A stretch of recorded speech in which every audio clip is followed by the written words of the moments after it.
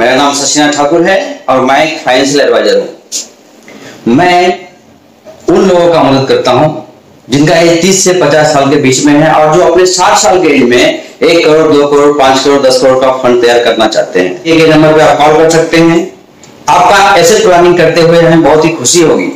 Thank you once again Sachina Thakur from north investment Panvel Nagar Nigam की विशेष आम बैठक हुई। महत्वपूर्ण मुद्दे पर सहमति ज़ाहिर की गई। पनवेल नगर निगम की विशेष आम सभा की बैठक आज हुई। पिछली नगर पालिका में 98 मंजिलों के साथ एक वाणिज्य परिसर स्थापित करने का प्रस्ताव लंबित था। प्रस्ताव आज पारित किया गया।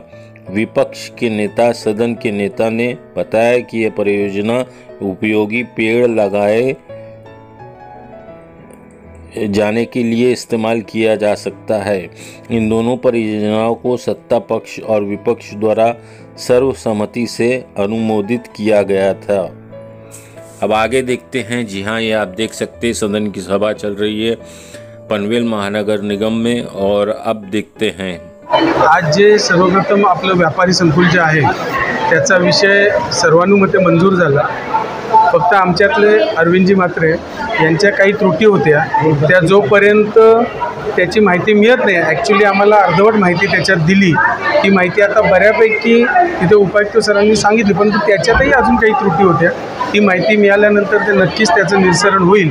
आणि हा विषय मला सांगायला अभिमानाची गोष्ट वाटते की माझे वडील सन्माननीय नगराध्यक्ष त्यावेळेचे जेम म्हात्रे साहेब हे दोन हजार तीन एक ते पाच या काळात ते नगराध्यक्ष पनवेलचे होते. आणि दोन हजार तीन साली या विषयाची मूर्तमेढ झाली आणि खरोखर त्यांचं कौतुक करावं तेवढं थोडंच आहे की त्यांच्यामुळे आज पनवेलला आणि पनवेलमधील नागरिकांना हे गाळे मिळू शकले. फक्त एकच राहिलं आहे की आत्तापर्यंत त्याचा पाठपुरावा केला नाही. म्हणजे सरकार सरकारकडे दोन हजार सहा सालानंतर तो विषय गेला मंजुरीसाठी आणि ते अजून काही पूर्ण झालं नाही. पण ते लवकरात लवकर पूर्ण करण्यासाठी आम्ही देखील प्रयत्नशील असणार आहोत. आणि त्याच्यात एक महत्त्वाचं असं राहिलं आहे की त्यावेळी ते गाळे बनताना तिथे जे जुने हे होते व्यापारी होते त्यांचेच करार नेमकी जवळजवळ अठ्ठ्याण्णव जणांचे ते करार राहिलेले आहेत. म्हणजे त्यांच्या नावावर होण्याचं राहिलेलं आहे. तर ते नक्कीच त्यासाठी देखील आम्ही पाठपुरावा करून त्यांना देखील न्याय देण्याचा आम्ही प्रयत्न करणार किती गाळे आणि काय फायदा?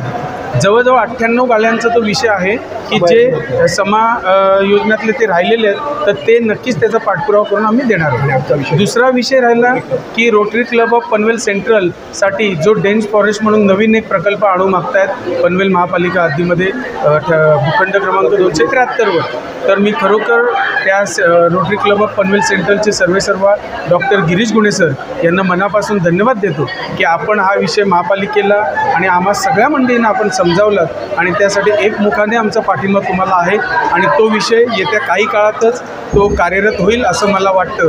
आणि त्याची सुरुवात आज मी सभागृहात सुचवलं की आम्ही सर्व मंडळींनी मग मी विरोधी पक्षातील आमचे सगळे सहकारी नगरसेवक असतील आणि सत्ताधारी पक्षातील नगरसेवक असतील आणि महापौर असतील उपमहापौर आणि आयुक्त सर उपायुक्त सर जे जे मेन मेन अधिकारी असतील या सगळ्यांनी पहिलं झाड लावून एक वेगळा पायंडा पाडावा अशी मी त्यांना एक रिक्वेस्ट केली. कशा प्रकारचा प्रकल्प आहे डेन्स फॉरेस्ट म्हणून आहे.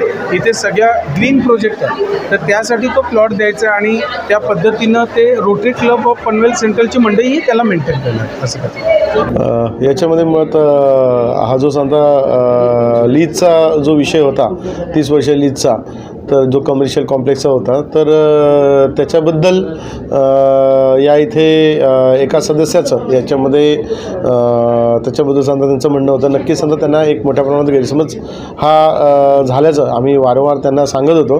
परंतु त्यांचं समाधान झालं नाही. परंतु बाकी समजा इतर सर्व सदस्यांचं इत समाधान झालेलं होतं. आणि त्याच्यामुळे या इथे तो विषय हा मंजूर करण्यात आला. दुसरा विषय हा काही प्रलंबित नव्हता. फक्त कागदोपत्री कारवाई ही पूर्ण झालेली नव्हती. आणि त्याच्यामुळे या इथे डेन्स फॉरेस्टचा हा जो आपला विषय आहे म्हणजे मियावाकी फॉरेस्टचा जो कोरोनाच्या आधी चालू होणं अपेक्षित होतं तर तो आता चालू होत आहे देर आहे पण दुरुस्त आहे. नक्कीच सांगता याचा फायदा हा पनवेला होईल असा मला विश्वास आहे. Bureau report Navi Mumbai Ulwe news.